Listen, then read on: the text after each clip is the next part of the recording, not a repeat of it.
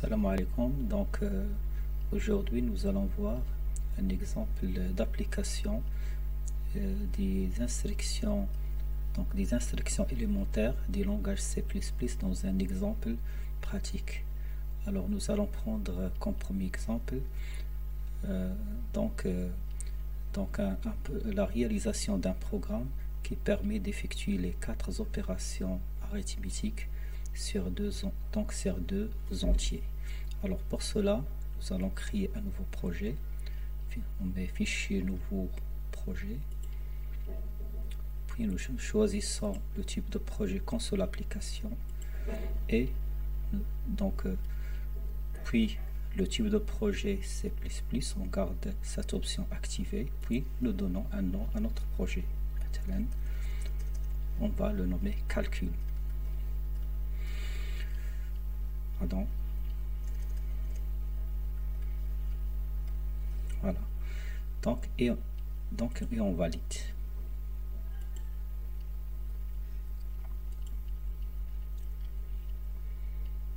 Après, donc, euh, l'environnement dev nous demande d'enregistrer le projet. Pour cela, donc, je vais aller au disque local C et je sélectionne le dossier où je, vais rassembler mes, mes projets. Donc c'est mes ateliers C++. Donc ouvrir. Puis je crée un dossier pour euh, notre projet calcul. Je vais l'appeler par exemple projet calcul. Ouvrir puis je l'enregistre. Donc voilà mon projet calcul est déjà enregistré et le contenu de fichier source main se présente. Alors la première chose donc euh, tout le code je vais le mettre dans donc euh, doit être placé dans la fonction main qui représente le programme principal. La première chose je déclare euh, donc on a besoin de deux données d'entrée Donc je vais les, nommer A, B, donc INT AB. Donc j'ai besoin de, deux, de, de, de, quatre données de sortie. Donc, donc la première pour stocker, donc je vais l'appeler somme. La deuxième, il va stocker la différence. La troisième, c'est le produit. Je vais la nommer pro. La quatrième, le quotient. Et on peut ajouter une cinquième variable pour le reste. Donc maintenant, maintenant, donc nous allons commencer par les instructions qui permettent de lire les données d'entrée A et B. Donc on met euh, c'est out. Double inférieur. Par exemple donner la valeur euh, de A. C'est une instruction qui va demander à l'utilisateur euh, donc euh, de demander à l'ordinateur d'afficher un message qui va donc un message qui invite l'utilisateur à donner la valeur de A puis l'ordinateur doit lire la valeur de A. La même chose pour B, c'est out, double inférieur, donner la valeur de B.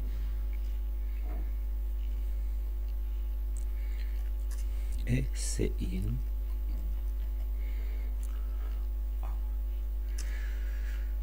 Donc le plus important dans ce petit traitement, c'est C in A, c'est euh, C in A, pardon, c'est in B et C in B. Et donc ces deux instructions permettent de lire les deux données d'entrée A et B. Et après, nous passons à la partie traitement. Alors, la première chose, je dois calculer la somme. Pour calculer la somme, la somme n'est que A plus B. Pour la différence, c'est c'est diff égale à A moins B.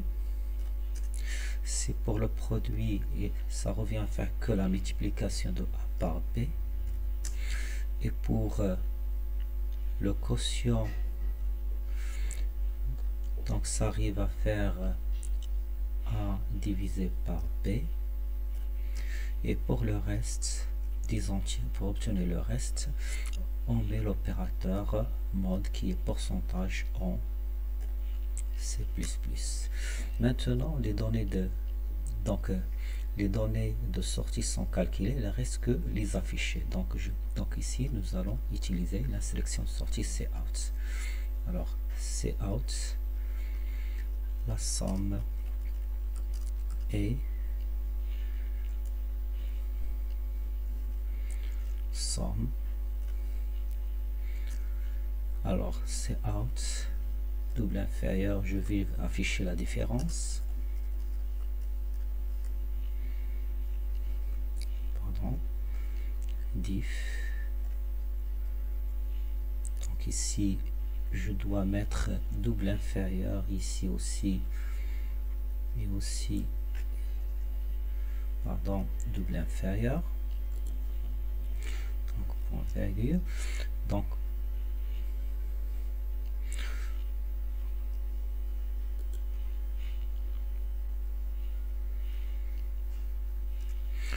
donc c'est out double inférieur euh, inférieur donc j'affiche le produit.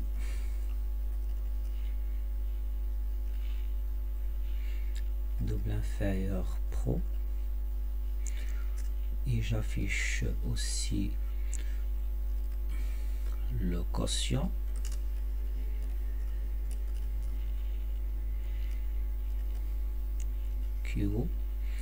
et enfin j'affiche le reste. Le reste.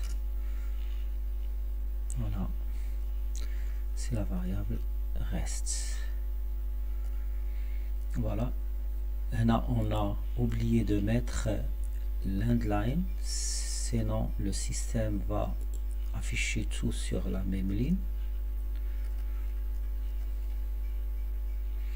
voilà. Un line. Et et et voilà. Et je mets mon système pause pour que le système marque une pause à la fin de l'exécution donc j'enregistre ma fonction main puis je fais je lance la compilation. Exécuter compiler.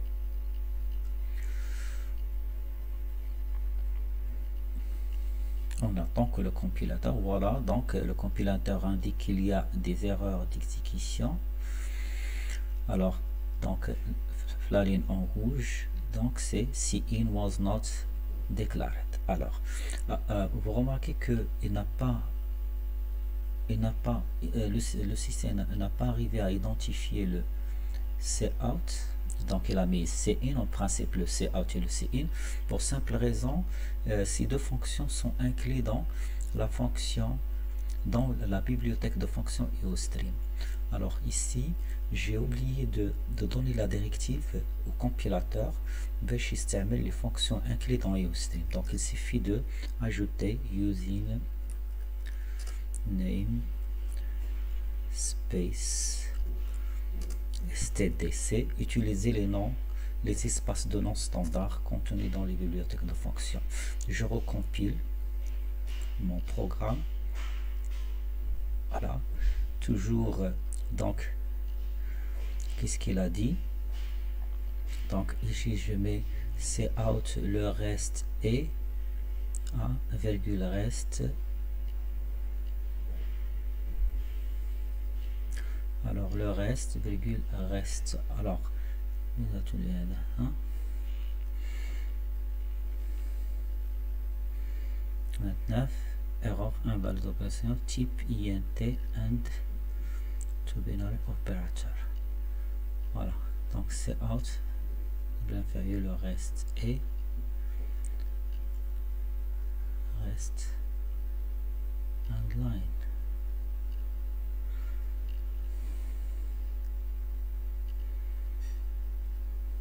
Voilà. Donc on a oublié le directif de sortie c'est double inférieur donc je recompile Voilà, la, compilation se progresse. Voilà, donc le système indique qu'il y a zéro erreur et zéro ligne. Donc maintenant, euh, donc il a généré l'exécutable que vous voyez ici. Donc maintenant, je peux lancer l'exécution. Exécuter, exécuter. Voilà, vous voyez, dans la console d'exécution, euh, l'ordinateur nous invite de fournir la valeur de A. Donc je lui, je, lui fournis par exemple 15. Donner la valeur de B, je, lui fournis par exemple, euh, par exemple 4. Donc vous voyez, donc il nous fournit bien la somme est 19, la différence 11, le produit 60, le quotient c'est 3, c'est bien, 15 sur 4 c'est 3, et le reste bien sûr c'est 3, il y en a 15 sur 4 c'est 3, et le reste c'est 3. Donc j'espère que vous avez bien compris le principe de la programmation avec euh, le C++, et je vous laisse à la prochaine séance, Inch'Allah.